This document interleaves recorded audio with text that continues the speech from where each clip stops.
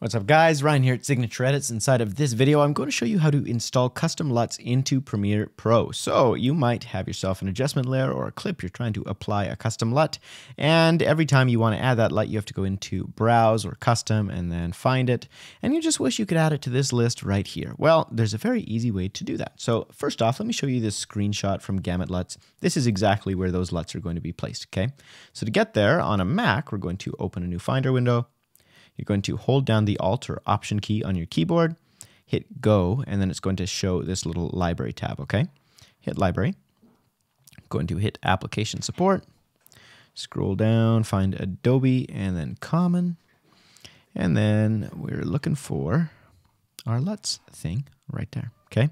So you've got Input, Output, and Technical listed here. And then you can also add another one called Creative.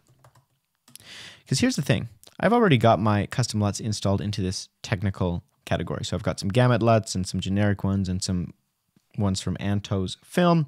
Might use some Signature Edits ones in the future, but you'll see that they're listed right here. I've got all those custom LUTs. However, if I go down to the creative panel and go to look, they're not here. I've got different LUTs in there, but I don't have those specific ones, okay?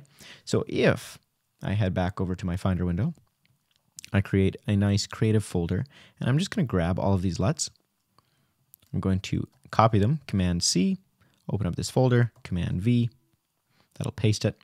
And from there, I should be able to close Premiere Pro,